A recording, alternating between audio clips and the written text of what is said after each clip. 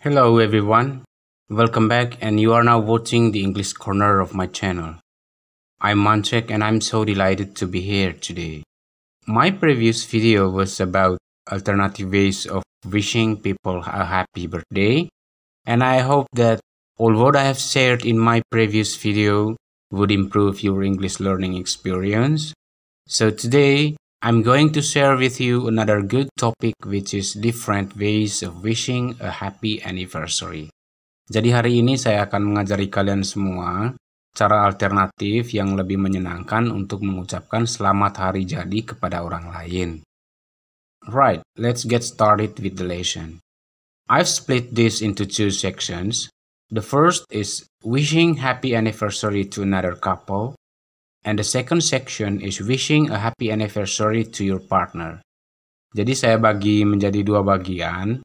Yang pertama adalah mengucapkan selamat hari jadi untuk pasangan lain. Dan yang kedua adalah e, mengucapkan selamat hari jadi untuk pasangan kita sendiri. Number one, the first one that you'll wish to another couple is wishing a perfect pair, a perfect day together. If two people are a perfect pair, it means that they were made for each other. They are perfect together. Jadi, wishing a perfect pair, a perfect day together. Semoga menjadi pasangan yang sempurna, sebuah hari yang sempurna bersama. Jika dua orang itu adalah pasangan yang sempurna, itu berarti mereka sudah saling menyatu. Mereka sempurna bersama, kira-kira seperti itu. Number two is a lovely one. It can be said as a toast Cheers. You can also say it to your romantic partner. It is here's to another year of being great together, of you two being great together. Jadi, as a toast, cheers, mari bersulang, bersorak-sorai, kira-kira seperti itu. Number three is another year, another reason to celebrate. Satu tahun lagi alasan lain untuk merayakan. Number four, it is so so cute. It is I always knew you two had something special. Saya selalu tahu kalian berdua memiliki sesuatu yang istimewa. So if you have some friends and they have always had a wonderful relationship, you can say this to them. I always knew you two had something special. Had a special chemistry, memiliki chemistry yang istimewa, or a special spark together. Jadi jika kalian memiliki uh, teman yang selalu memiliki hubungan yang baik, Kalian boleh mengatakan ini kepada mereka. I always knew you two had something special. Saya selalu tahu kalian berdua itu memiliki sesuatu yang istimewa. Kira-kira begitu. And number five, the last one that we can say to another couple is Love and cheers to one of our favorite couples. Cinta dan keceriaan untuk salah satu pasangan favorit kami. And finally, we have four more romantic ways to wish your partner a happy anniversary. The first one is so lovely. It is, I love you more and more every year. My love just grows for you. I love you more and more every year. Cintaku hanya untuk kamu. Aku semakin mencintaimu tahun berganti tahun. Kira-kira seperti itu. Number two is Here's to five years and five million memories. Ini untuk lima tahun dan lima juta kenangan. So you can replace the number as you wish. Here's to 10 years, but 10 million memories. That's really, really nice because it's not about how long you've been together, but it's about the things you've done together and the memories you've made. Enak. Jadi kamu bisa ganti angka yang kamu inginkan di sini.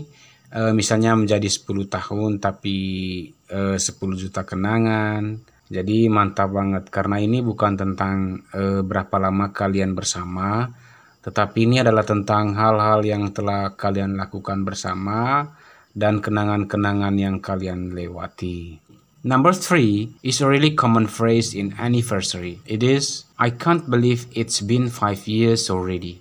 I can't believe it's been 20 years already. Jadi saya tidak percaya sudah lima tahun atau tidak eh, tidak terasa kini udah lima tahun. Saya tidak percaya sudah 10 tahun atau saya atau tidak terasa kini sudah 20 tahun. Saya tidak percaya sudah 20 tahun atau Tidak terasa kini sudah 20 tahun. Okay, the last one, number four, is quite an interesting one. It is Happy Ruby Anniversary, Happy Gold Anniversary, Happy Paper Anniversary. So what do they mean? Well, for each year you are together, there is an anniversary name, and some people give gifts corresponding to this name. Let's say your first anniversary is your paper anniversary, so someone might write a love letter. Second is cotton, third is leather, and it goes all the way up to number 10, which is tin. Then you have 20, which is platinum, silver, which is 25th, ruby, which is the 40th, gold, which is the 50th, and diamond, which is 60th. Oke, yang terakhir ini nomor 4 adalah Selamat ulang tahun Ruby, selamat ulang tahun emas, selamat ulang tahun kertas. Baik, untuk setiap ulang tahun kebersamaan itu pasti ada nama ulang tahunnya. Dan orang memberi hadiah yang sesuai dengan nama ulang tahun tersebut. Jadi misalnya ulang tahun pertama kamu itu adalah ulang tahun kertas, maka orang pasti akan menuliskan sebuah surat cinta. Kemudian yang kedua adalah kapas, yang ketiga adalah kulit dan akan terus berlanjut sehingga nomor 10 yaitu timah. Kemudian 20 yang merupakan platinum, perak adalah ke-25, ruby adalah ke-40, emas adalah ke-50 dan berlian yang ke-60. Well, that's it for today's video. I hope you enjoyed it and I hope you learned something from this video. Don't forget to put a thumb to this video and share this to your friends. And for those who haven't subscribed yet or are new to this channel, please subscribe to this YouTube channel and make sure that you leave me some comments or feedback about this video. So thank you very much for being here. I'll see you again soon on another videos. Thank you. Bye-bye.